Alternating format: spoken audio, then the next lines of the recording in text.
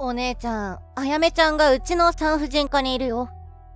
あ、冗談やめて。うちの子がそんなところに行くわけないじゃない。見間違いよ。めいっ子の顔を間違えると思う？本当に、うちの子なの？うん、カルテも見た。名前も誕生日も同じ。なんで産婦人科なんかに、朝は普通にランドセル背負って出て行ったのよ？それが、妊娠してるって、まだ10歳なのにどういうこと？は？所長もまだだって言うのに、そんなことありえない。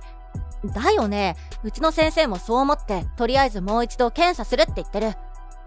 あやめが一人で来てるわけないよね。うん、お兄さんと一緒よ。なんで夫なの？今まで小児科ですら連れてったことないのに。だとしたら初回で産婦人科はないよね。普通こういうことを相談するならパパよりママだし。夫は琴美がいるって知っててその病院にしたのかしら。私が転職したのは先週だから知らないと思う。そうよね。私も数日前まで知らなかったくらいだし、夫とは話したの？ううん。同僚に事情を説明して、今日は病棟のナースと代わってもらったの。なぜ隠れるのよ。夫がいるなら直接話を聞いてくれたらいいじゃない。よく考えてみてよ。お姉ちゃんに言わずに、父と娘で産婦人科に来てるんだよ。私が出ていけば確実にお姉ちゃんに話が行くと考えるだろうし、病院を変えるかもしれないでしょそうなれば、妊娠のこともどうなったのかわからなくなる。あ、確かにそうね。冷静に判断してくれてありがとう。まだ10歳だし、内心はできないんだよね。なんか不安で泣いてるって言うし、私も心配なんだけど出ていけなくて。夫のせいだわ。怖いに決まってる。私に相談もせず、そんなところにいきなり連れて行くから。お姉ちゃん落ち着いて。とりあえず、今できることは、尿検査だけなの。間違いってこともありえるし、少し待っててほしい。そう言われても、心配で落ち着いていられない。昔から心配性だもんね。でも、しっかりしてよ。いきなり知るより、こうして、事前に知らせて心の準備をさせようと思って、連絡したんだから。分かってる。いつも迷惑かけてごめん。あなたの方が姉みたいだよね。大丈夫。きっと何かの間違いだと思う。でも実際に、そういう例ってあるんでしょ？低年齢での妊娠？まあ、ないこともないけど、私が見たのは14歳くらいかな。それでも十分若いのに。でも、小学生での事例もないことはない。日本じゃないけど、過去には5歳ってのもあったみたい。信じられない。日本の小中学生だと年間400件もあるの。そんなに？女の子を持った以上恐れていたことではあるけど、まさか自分の身に降りかかるなんて。それで結果はいつわかりそう？さっき尿検査したばかりだから、次の検査のために水分与えてるみたい。私も隙間時間に同僚から聞いてるだけで、それ以上の詳細はわからないの。仕事中だもんね。せかしてごめん。とりあえず連絡待ってる。くれぐれもお兄さんに探り入れたりしないでよ。分かってるって。数時間後。お姉ちゃんお待たせ。どうだった？2度目の検査は陰性。えじゃあ1度目の検査が間違いだったってこと？まあそういうことになるんだけど内心できてないから断言はできない。あんな検査大人でも嫌なのに。滞納があるかどうか確認しないとはっきりとしたことが言えない。腹部エコーは12週からだしそれまで待つことになるかも。そんなに？まあそこまでしなくても複数回尿検査すればはっきりすると思うけどね。それであやめと夫は？先生がまた数日以内に検査しましょうって返したみたい。じゃあまた行くってこと？そうだね。でもさなんかしっくりこないんだよね。何が？尿検査の精度って99%超えるのよ。じゃあやっぱり妊娠してるってこと？でも2回目は陰性なんだよ。おかしくない？確かに。そんなこと私も経験なくて戸惑ってる助産師のあなたでも理解できない状況だったことはよく分かった。私はこれからどうしたらいい？とりあえず次回の検査を待とう。それで陰性なら間違いなく妊娠はしてないと思う。それまでどんな顔して過ごせばいいのよ。気持ちはわかるけど今は様子を見た方がいい。だって母親ならまだしも父親と娘で産婦人科なんてどう考えても不自然じゃない？確実にお兄さんは何か隠してるだとしたら下手に動かない方がいい。でもあやめちゃんが大好きなママに何も言わないっていうのがおかしいと思わない？もしかしたらお兄さんに脅されてるのかも。そんな。ねえあやめちゃんスマホ持ってる？うん。塾があるから持たせてるけど私に連絡先教えてくれない？別に構わないけどなんで？お姉ちゃんに言えないことも私になら言えるかも。そっかあやめは琴美のこと好きだから何か話すかもしれないね。もちろんその前にお姉ちゃんに相談するのが一番なんだけど。なんか怖いよ。得体の知れないものが襲ってきてるみたいで。不安なのはわかるけど動揺を悟られないようにしてよ。分かってる。お兄さんとの関係は最近どうなの？普通よ。仲がいいわけでも悪いわけでもないどこにでもいる。結婚11年目の夫婦。そっか。じゃあまた連絡するよ。仕事中なのにありがとう。今お産が少なくて病棟は暇だから大丈夫。よろしく頼むわね。琴美だけが頼りなの。任せて。3日後に予約入れて帰ったみたいだからまた検査結果知らせるよ。長いわね。でも待つしかないのか。じゃあ仕事に戻るわ。うんごめんね。頑張って。翌日。すまない。俺はあやめを連れてこの世を去る。は？あやめを一人で行かせるわけにはいかないんだ。何を言ってるの？昨日もいきなりあやめと外泊するとか言ってどれだけ心配したと思ってるのよ。学校は休ませてるの？それどころじゃないんだ。あやめは妊娠している。え？昨日病院で検査したがお腹の中に赤ちゃんがいるんだよ。あのどうせ知ってるんだろ。琴美ちゃんが働いてる病院だ。妹が姉に報告しないわけがないよな。知ってて言ったの？会えなかったけどな。どうせ隠れてたんだろうけど。妹は病棟の担当だって言ってたわ。でもなんで知ってるの？転職したことは私も知らなかったのに。あっちは気づいてないけど俺は顔を見たんだ。そうだったのね。それより何がどうなってるのかちゃんと説明して。どうもこうもあやめが妊娠した。それが全てだ。そんなことありえない。検査結果だって一度陽性は出たけど2回目は陰性だったんでしょ？さっき市販の検査薬を買って調べてみたけどやっぱり陽性だったよ。嘘？本当なの？こんな嘘つくと思うか？だからってどうしてこの世を去るって話になるのよ。こんな不死だらな娘に育ってしまった責任を親として取らなければならないからだ。なんであなたなの？もしそれが本当なら私も同罪のはずよ。正直俺も生きるのに疲れてたんだ。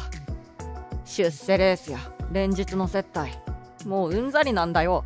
あやめのお供をするのは俺だけで十分だ。待って早まらないで。産むにしてもおろすにしてもあやめは辛い思いをすることになる。だったらいっそのこと楽になった方がいいだろそんなの絶対にダメ。この年でこんなにボロボロに傷ついてどうやって生きていけって言うんだ。あやめがそれを望んでるの？子供に判断できないから親が決めるんだ。あやめも立派な一人の人間なの。あの子が生きたいと思ってるならそれを奪う権利はたとえ親でもないわ。でも子供にこれから先訪れる地獄が想像できるわけがない。だから俺が連れて行くんだ。楽になれる場所に。あやめの人生を決めるのはおかしい。絶対に間違ってる。子供がしたことの責任は親にある。こんな小さな子がでかい腹抱えて街を歩けっていうのか。学校は勉強は普通の人生なんて歩めないんだぞ。だから全て終わらせるんだよ。仮にあやめが妊娠したとして相手が誰かあなたは知ってるの？4つ年上の中学生の先輩らしい。下校中に声をかけられてそのままって話だ。そんなのありえない。何かの間違いよ。最近の子はませてるんだよ。あやめは絶対にそんな子じゃないわ。女性として自分を大事にするようずっと教えてきたの。絶対に違う。まあそう信じてる方が幸せだろうな。葬式は必要ない俺たちは見つからない場所でひっそりと行くことにするよ。待ってあやめを連れて行かないで。あさみさようなら。今までありがとな。あやめからの伝言だ。ママありがとう。お願いだからあやめを返して。3日後。今どこ？返事してよ。そっか死んだことになってるんだもんねやすやすと返事できるわけないか。でも大丈夫よ。あなたが生きてるの知ってるから。違うんだ。死にきれなくて。なぜ嘘をつくの？本当だよ。いざとなると勇気が出なかった。最初から死ぬ気なんかないくせに。すっかり騙されたわ。信じなくてもいい。それに俺はまだ諦めてない。あやめとあの世へ行く。はいはい。で一体何が目的なの？前に言った通りだ。残酷に思えるかもしれないがこれが結果的にあやめを救うことになる。へえ。なんだよ。娘を失う寸前だったのに随分と余裕そうだな。この前は慌ててわめいてたのに。まあもう少しすればわかるわ。何のことだ？だいたいおかしいのよ。あやめが妊娠したとしてなぜ私じゃなくあなたが知ることになるわけ？愛する娘のわずかな体調の変化に気づいただけだよ5歳の時に熱が39度あるのに気づかず庭のプールで遊ばせてた人が言うあの時は若かったし未熟だったけど、俺も父親として成長したんだ。あやめを誰よりも愛してるからこそ、わかることもある。そのあやめが、パパに脅されてたって言ったの。は？ことみがどうにか聞き出してくれたのよ。どうやって？?LINE だけど。まだ小学生だから LINE はやめておこうって言ったよな。塾で自習中とかだと、電話に出るわけにはいかなくて、パパには内緒ってことで LINE を入れておいたの。心配しなくても繋がってるのは私だけよ。お前、娘のわずかな体調の変化に気づけるはずのあなたが、そんなことにも気づかなかったなんて、どんな笑い話を。お前が隠すからだろ妹はあやめから話を聞き出すのに相当苦労したみたい。話せばママが危ないって、なかなか口を割らなかったそうよ。どんな脅し方をすればそうなるのかしらね。人聞きの悪い。パパの言う通りにすればママが死ぬことはない。そう言ったんだよね。言ってない。あやめが嘘ついてるんだ。夫より10歳の子を信じるのか。当然でしょ。あの子は正直な子だしあなたなんかよりよほど信用できるそれにあやめが嘘をつくメリットがどこにあるわけ？知らねえよ。妹があやめから聞いた話と探偵の調査結果そして今回のあなたの行動をつなぎ合わせて私なりに立てた仮説があるの。ちょっと待て。探偵だと？夫を疑うなんてろくでもない嫁だな。あんなのいくらかかると思ってる。無駄な金使ってんじゃねえよ。ポンクラ主婦のくせに。何とでも言いなさいそれとお金なら父に借りたからご心配なく。どんな写真が撮れたか知らないが俺は浮気なんてしてない。誰も浮気だなんて言ってないけど探偵といえばそれしかないだろ。俺にだって仲のいい女友達や頼ってくれる部下もいる。こう見えて頼れる上司って感じで意外と人気あるんだぞ。もちろん下心はないが仕事帰りに飲みに行くことくらいあるさ。そのうちのどれだかだろ聞いてもないのによく喋るのね。会社辞めてやることがなくてよっぽど暇なのね。なんで知ってる？まさか会社にまで電話したのか。当然でしょ。娘を連れていなくなってるのよ。片っ端から当たるのは当然じゃない。余計なことはそれより早く話したいんだけど。私の仮説。言ってみろ。妊娠してるのはあやめじゃなくてあなたの浮気相手ねなぜそう思うんだ？あやめの尿検査よ。それならちゃんと病院に連れて行ったじゃないか。妊娠してないのに陽性が出るなんてありえない。だとしたら妊婦のものを持ち込んだんじゃないかって妹が言ってた。娘が妊娠したことを偽造するなんて何のためにそんなことするんだよ。そこなのよ。目的が全く見えなかった。でもあやめの言葉にヒントがあったの。は？ママと離れても生きててくれたらいつか会えるでしょ？妹にそう言ったそうよ。回りくどい言い方しないで。さっさと言えよ。いつか会えるってことは死ぬ気はなかったってこと。あなたは妊娠したあやめを道連れにこの世を去るという設定にして浮気相手と一緒にどっかへ移り住む計画だったんでしょ？なんでそんなめんどくさいことをしなきゃならないんだ？仮に俺に女がいるならお前に離婚しようって言って別れれば済む話だろ。私たち夫婦は仲良くもないし悪くもなかったよね。離婚の原因になるような揉め事もない。となれば自分から離婚を切り出せば浮気を疑われ慰謝料を要求されると思ったんじゃない？妄想が止まらないな。そうね。確かにここまでは私と妹の妄想だった。だったってどういう意味だ？確認したのよ。里美さん本人に。なんでその名前を言ったでしょ？探偵に依頼したって。浮気相手の住所氏名連絡先全て手に入ったから。前！人の旦那に手を出すような節操のない女だから。予想以上に下品で常識のない人だった。冷静に話すのにも手こずったけどあることを教えてあげたらペラペラと話し始めたわ何を言ったんだ？うちの父が予定してるあやめへの生前贈与のことよ。教育資金なら1500万円まで非課税だからどうせならあやめに残してやりたいって言ってたでしょ。あなたもありがたいなって喜んでたじゃない。そんな話もあったな。彼女にその話はなくなったから当てにするなと言ったの。は？父におそらく夫の狙いはお金だから白紙に戻してほしいと頼んだんだけど。都合が悪かった？なんで？子供の財産は親権者である。親が管理することができる。そのためにあやめが必要だった。そうでしょ？違う。私ね不思議だったの。どうしてここまでしてあやめを連れて行こうとするのかって。でも生前贈与のことを思い出してこれしかないって確信した。そんなんじゃない。可愛い一人娘だからに決まってるだろ。そうかな。普通の親子より関係は良くないと思うけど。俺の愛の大きさが伝わってないなんて悲しいよ休みの日に公園に行った回数は片手で足りるわ。ピアノの発表会だって。土日なのにゴルフだなんだと言ったこともない。お前らを食わせるためだ。バランスが取れてないのよ。妊娠したから一緒にあの世へ行きますなんて。誰が聞いてもおかしな話でしょ。こいつただ一つだけ納得いかないことがある。あやめが亡くなったってことにするなら教育資金の1500万は手に入らないよね。まあなさっきみたいに勇気が出ずに死ねなかったってことにしてそのままあやめを引き取る気だったのね。そして妊娠したかわいそうな孫ってことにして父からお金を引き出すつもりだった。そうだよ。持ってるじじいから分取って。何が悪い何開き直ってんの？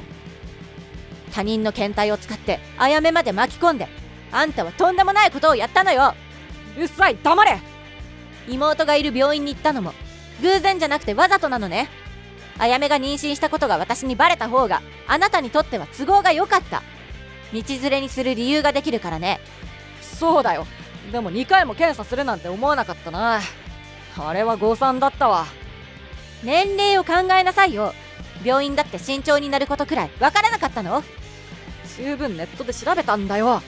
10歳くらいなら内心はしないって書いてあったから乗り切れると思ったんだけどな。あやめはママと離れることよりも私の命を守ろうとしてくれた。父親のくだらない脅しだなんてまだ気づかないほど幼い子が心を痛めながら私を守ったの。すごい立派。は？だらだらうるせえなと思って。真剣な話をしてるんだけど。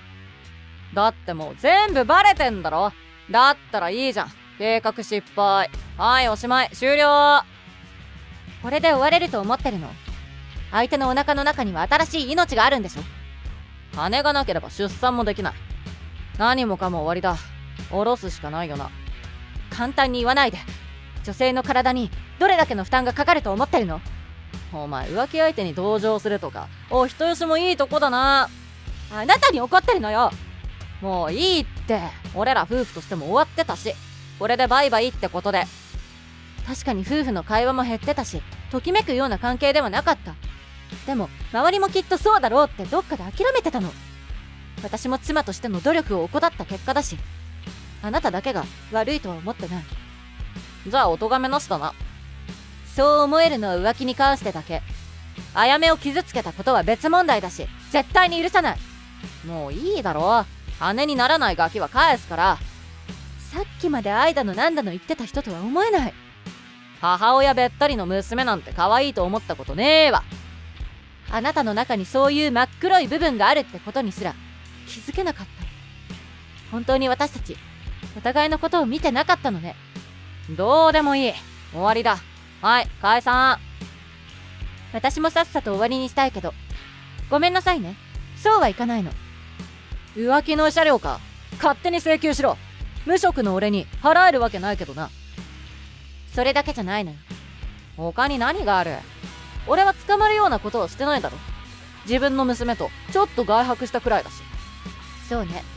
脅したと言っても証明するのは困難だろうし病院で人の検体を使ったことが何の罪になるのかわからないしなったとしても大したことはなさそうだよね。だろ？俺は引っ越す予定でとっくに退職してるし会社に作ったところでノーダメージだ。そうみたいね。だから考えたの。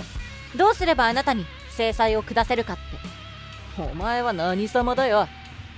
私は何者でもないわ。でも父の知り合いにうどん屋を経営してる方がいてその方に頼もうと思ってる。はあ？ただのうどん屋に何ができるって言うんだよ。腰の強いうどんでぐるぐる巻きにされるってか。笑わせんな。そんな生優しいお仕置きで私が許すと思う？ああなるほど。うどん屋でバイトさせる気だな。俺はそんなところで働かないぞ。何言ってんのよ。こんな人間を雇ってくださいなんて父のメンツを潰すようなこと。言えるわけがないでしょ。じゃあ何なんだよ。それは私もよく知らないけど10分くらいで迎えが来るわ。は？あ誰が来るんだよ。だからうどん屋さん。送迎付きのうどん屋なんて聞いたこともねえな。そもそも俺の居場所なんて知らないくせに。嫌な予感がしてあやめのお気に入りのバッグとスマホのキーホルダーに GPS をつけておいた。え？こうして話してる間に向かってもらってたの。嘘つけ。俺をビビらせようと適当なこと言ってるだけだろ。だいい GPS なんて都合よくつけるわけねえだろ。母親ってね。子供のことで妙な胸騒ぎがしたり嫌な予感がすることがあるの。信じられないでしょうけど。その迎えって何なんだ？うどん屋さんだって言ったじゃない？じゃなくて俺はどうなるんだって聞いてるんだよ。さあ？まだヤクザとかならわかるけどうどんって何なんだよ。意味わからなさすぎて余計怖いんだが。私もよく知らないの。父が知らない方がお前のためだって言うから。え？父はうどん屋は表向きの仕事で裏稼業としてゴミを片付けたり処分したりする人だよって言ってたけど。なんだ産廃業者のことかよ。ビビって損したわ。それは物を処分する仕事でしょ。あなたって確か人だよね。待ってくれ。ゴミってまさか俺のこと？どうだろう。処分ってなんだ？さあ。具体的に教えてくれよ。私詳細は知らないんだよね。車が2台。俺たちの車を挟むように停車したんだがまさかこいつらが。タイミング的には多分そうかな。なんで2台も？あなたとあやめの行き先が違うからでしょうね。俺はどこへ？だから私に聞かれてもわからないって。わ悪かった。あやめを利用したこと浮気したこと嘘ついたこと夫として父親としてダメダメだったこと全部謝るから許してくれ。許せるラインをとっくに超えてるしうどん屋さんだって暇じゃないのよ。謝罪して時間稼ぎしても無駄だから。お前が許すとかどうでもいいんだよ。とにかくこの不気味な車をどうにかしてくれ。検討するからあやめを父に引き渡して。は？お父さん来てるのか？知らない人が迎えに来たら怖がるでしょ？父が俺が行くって言ってくれたの。今あやめを引き渡した。白い車に乗って走り去ったよ。お父さん罵倒どころか目も合わせてくれなかったそりゃそうよ。あなたは道端にいる虫に話しかけるの？俺は虫かよそれ以下よ。だからうどん屋さんはゴミ処理っていう表現をしてるんじゃない？警察に通報してやる。そんなのどう考えても違法だ。やめた方がいいと思う。なんで？結果は同じだからよ。今行くか数ヶ月後に伸びるかそれだけの違いそして先延ばしにした分どうなることか。お前随分詳しいんだな。何も知らないって言ってたくせに。あごめん。裏の世界の人の気持ちになって適当に言ってみただけ。俺がちびりそうな時におちょくるなよ。これが夫婦として最後の会話になるのよ。名残惜しいじゃない。だとしたらもっと言うことがあるだろ。例えば？今までありがとうとか今となってはそう思えない。寂しいとか。思ってないから言えない。おい。さようなら。今出てくるのはそれだけ。本当にいいのか？母子家庭でやっていけないだろ。私には上場企業の役員である父がいるのよ。それに私も働くわ。そう俺の思いが何も届かない。その通り。これから電波も届かない場所に行くことになるわ第二の人生を楽しんで。無理だ。どうにかしてくれ。後日談。あやめと数日ぶりに会えました。私は絶対に死なないこととこれからはパパと離れて暮らすことをちゃんと理解してもらえました。大きなショックも残らず元気に学校に通っています。一方ひろきはその後黒い車に乗ってどこかに連れて行かれたようです退職していることで会社も探さないしあの人には親兄弟もいません。今思えば友達付き合いもなかったし捜索願いを出す人はいなさそうですね。父にうどん屋さんのことを聞いたら誰にも言うなよということで教えてもらいました。裏の世界では先生と呼ばれており表向きはうどん屋の店主なんだそうです。この世にいるどうしようもないクズたちをいろんな場所で働かせてお金を回収したり時には消しちゃったり。とにかくいろんなことをしているそうで。街中のうどん屋さんを見るたびドキッとする毎日ですが送られてきた離婚届と毎月送られてくる養育費を見てお任せしてよかったと心から思うのです。今度妹とあやめと3人で焼肉に行ってきます。妹にも心配かけたのでたくさん食べてもらいましょう。